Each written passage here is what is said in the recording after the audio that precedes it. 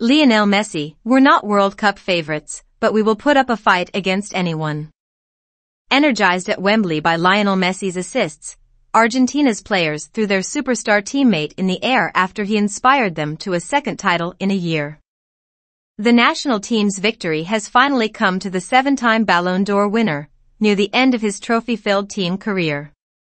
Argentina collected their first Finalissima trophy on Wednesday by beating Italy 3-0 in a meeting of the South American and European champions, while Messi helped Argentina win the Copa America last July with his first major title with the national team.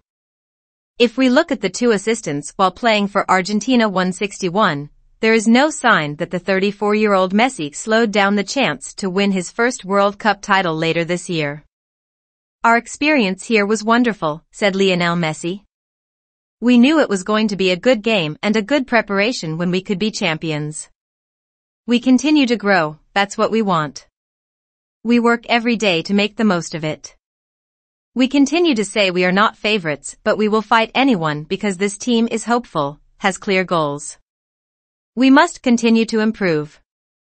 Now we have important games in September, we need to work and improve World Cup games.